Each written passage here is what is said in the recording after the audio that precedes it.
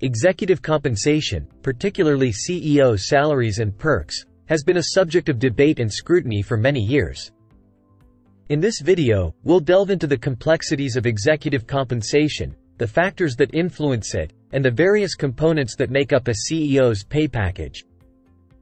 Understanding executive compensation. Executive compensation encompasses the total package of rewards and benefits that senior executives, particularly CEOs, receive in exchange for their leadership and decision-making roles within an organization. This compensation package is typically designed to attract and retain top talent while aligning the executive's interests with those of the company and its shareholders. Components of executive compensation. Base salary.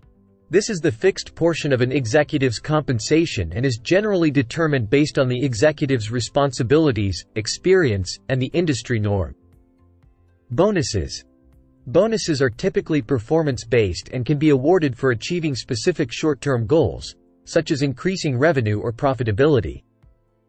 These may include annual or quarterly bonuses. Stock options. Stock options provide executives with the opportunity to purchase company shares at a specified price in the future.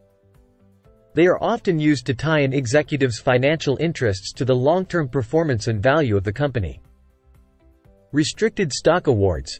These awards grant executives shares of the company's stock that typically vest over a specific period. The executive gains ownership of the stock when certain conditions are met. Long-term incentive plans, LTIPs. LTIPs include various equity-based grants, such as performance shares or units, which are designed to reward executives for the company's long-term growth and success. Benefits and perks. Executive compensation packages often include various benefits and perks, such as health and life insurance, retirement plans, executive retirement benefits, club memberships, and personal use of company assets, e.g., cars or aircraft. Golden parachutes.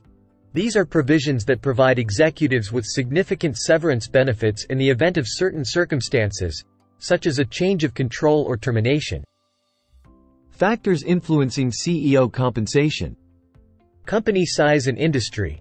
Larger companies, particularly those in highly competitive industries, often offer higher compensation packages to attract top talent. Performance.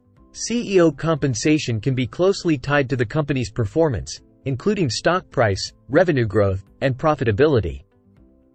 Market norms.